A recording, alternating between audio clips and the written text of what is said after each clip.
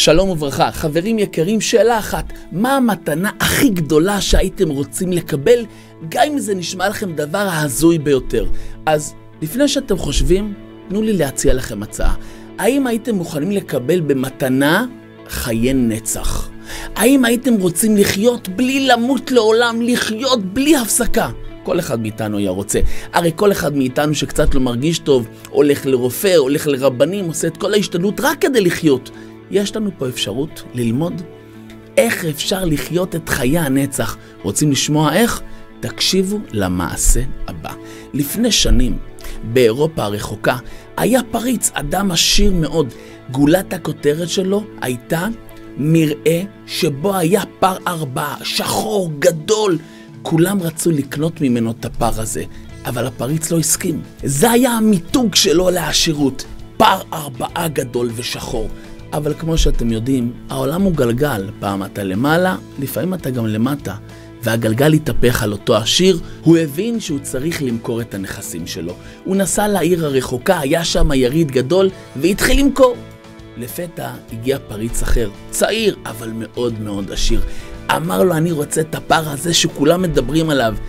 בכמה אתה מוכן למכור לי אותו? אמר לו, עשרת אלפים רובל, לא רובל אחת פחות. אמר לו, אני לוקח.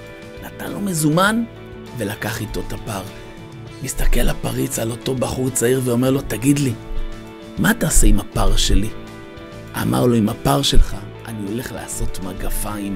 כולם ידעו שיש לי מגפיים של עשרת אלפים רובל. אני אהיה הפריץ הכי חשוב ברוסיה. אותו אדם המשיך למכור את כל מה שהיה לו.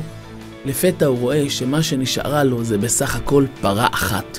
כחושה, זקנה, אף אחד לא רוצה לקנות אותה.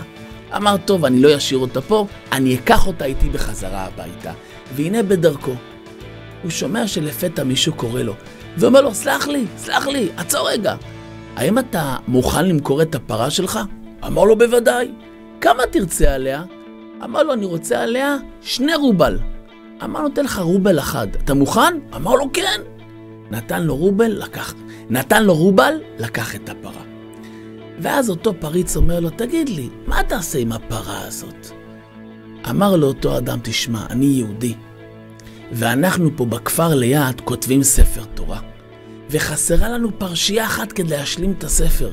עם הפרה הזאתי, אני אעשה ספר תורה. ופה, חברים יקרים, אני עוצר לרגע אחד.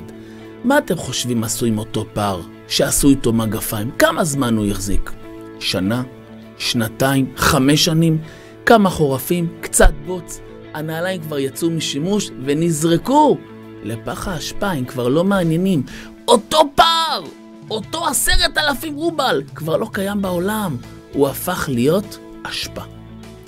אבל אותה פרה מסכנה, אותה פרה זקנה, שלא רצו אותה בכלל, שילמו עליה רק רובל אחד, היא הפכה להיות ספר תורה.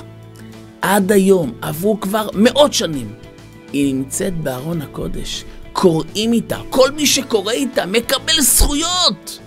זכויות של נצח. למה? כי הוא הפך להיות חלק מהתורה.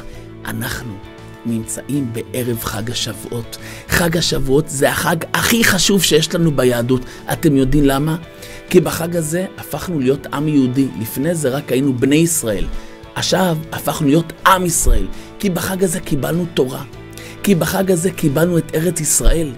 כי בחג הזה קיבלנו את חיי הנצח שלנו. כי מי שקשור לתורה, הוא הופך להיות קשור לקדוש ברוך הוא. קודשא בריחו ואורי תחדו. מי שקשור לקדוש ברוך הוא, הוא קשור לחיי הנצח. אז נכון, יש היום אנשים שחיים לידינו שהם נראים מיליון דולר. הם נראים הכי חזקים, והכי עשירים, והכי נהנים. אבל דבר שהוא גשמי, אחרי כמה שנים הוא כבר הופך להיות לו לא רלוונטי ומעניין. לפעמים דווקא הכחושים. דווקא המסכנים, אלה שאתה אומר איך שהם נראים, אני לא נותן עליהם שקל. דווקא אצלהם מצוי הנצח. ולכן, חברים יקרים, בואו נהיה סוחרים טובים. חג השבועות מגיע, בואו נישאר כל הלילה נלמד תורה. בואו נתחבר לקדוש ברוך הוא. מי שיזכה להתחבר לקדוש ברוך הוא דרך התורה, יזכה להיות חלק מלומדי התורה, יזכה להתחבר לחיי הנצח. יעזור השם הטוב, שנצליח בחג הזה להתקרב להשם, להידבק בו ולחיות חיים נצחיים, אמן ואמן.